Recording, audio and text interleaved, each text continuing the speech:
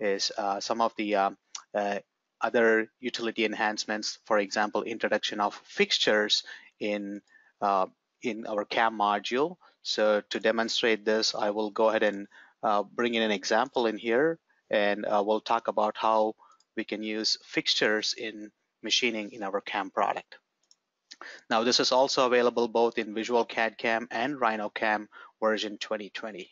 Uh, so with this 2020 release, we've introduced the option to define and specify fixtures. So you could uh, double click on fixtures and you can choose uh, fixtures that you'd like to add.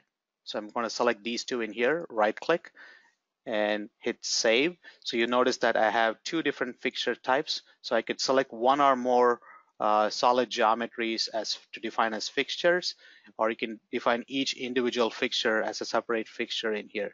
So once you have these fixtures defined, you can have them uh, account for those when you generate toolpaths in your uh, in your, uh, under the setup in here. So now, right now, I have defined these fixtures. I'm going to go ahead and run a simulation in here. So I'll pick simulate, and you will notice that um,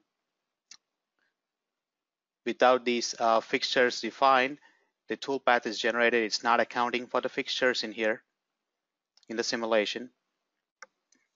I can also display these fixtures during simulation. So I'm going to go back, double click on the operation, and I'm going to select apply the fixture, generate it, and then go back and rerun the simulation. So as I run the simulation, you will notice that it detects a fixture collision. So I'm going to skip this so I'm going to ignore the collision. All right, I can also toggle the display of the fixture during the simulation.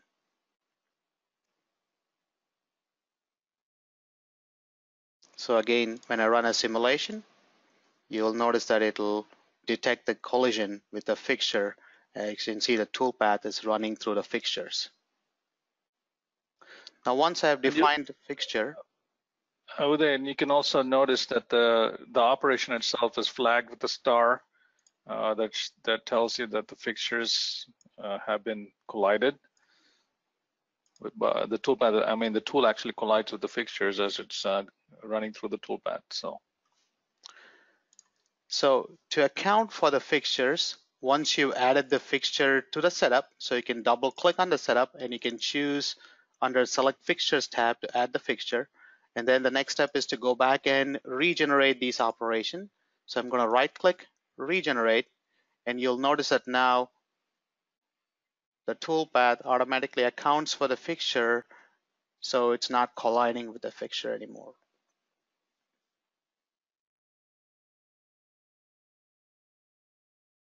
So this can be applied to any operation under the setup as long as you have selected to add the fixture, account for the fixture in the operations.